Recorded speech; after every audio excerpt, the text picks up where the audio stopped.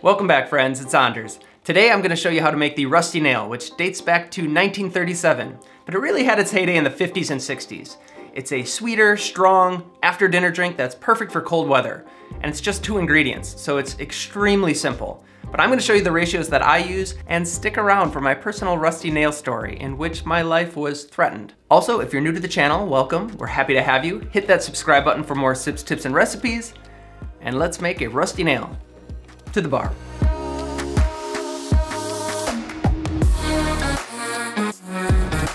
Okay, we will be stirring this cocktail. So I've got my mixing glass, a bar spoon, my jigger, julep strainer. I also have a peeler because I'm gonna do a little lemon oil on top and a lowball glass. This drink will be served on the rocks. Now the booze.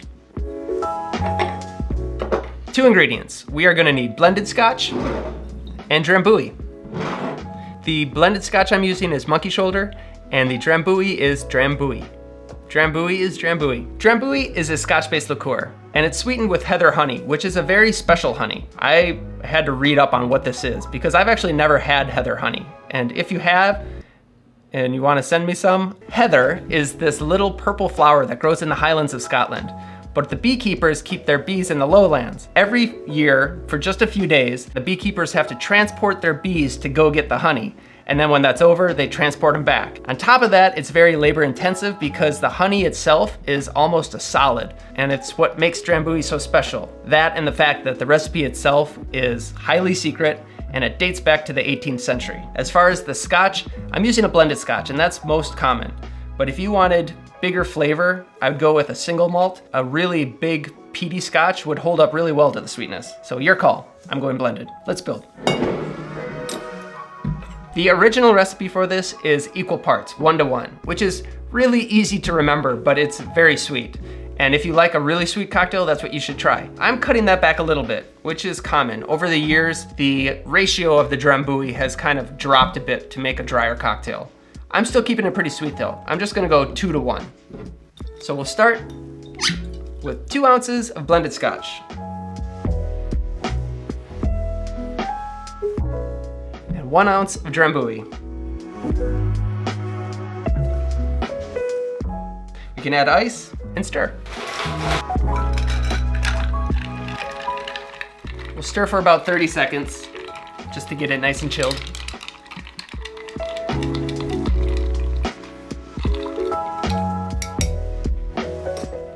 Add ice to your glass. And then strain off the cocktail.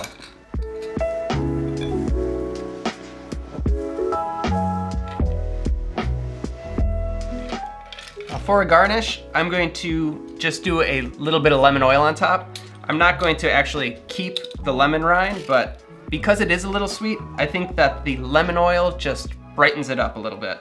I suppose you could do orange too. Never done an orange. I bet that'd be good. It's that simple.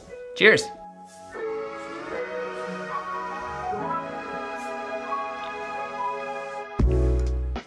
It's really nice, really nice with the, the lemon. Mmm, delicious. Yeah. This is seen as an old man drink.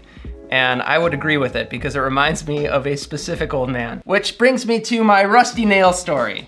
I was just starting out bartending. So I was young, 21, didn't really know what I was doing, but I was working at a little fine dining restaurant and this guy rolls up who was known as the Colonel. Everybody knew who the Colonel was, but I didn't.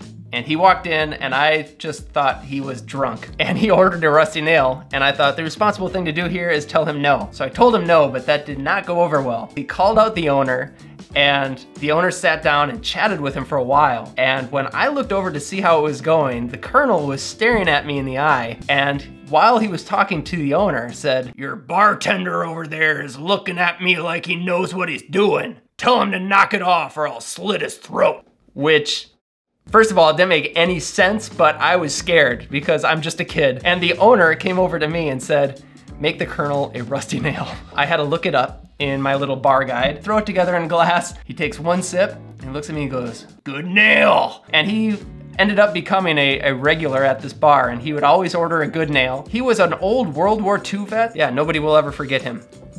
So glad he didn't slit my throat. I will say, if you are attending bar and somebody comes in and is inebriated and you say, no, I'm not gonna serve you, that you are doing the right thing and you have every right to deny them service. That was a unique situation and I was young and I wanted to live. Like and subscribe, hit that notification bell or I'll slit your throat. No, I won't, I won't. And I will see you next time.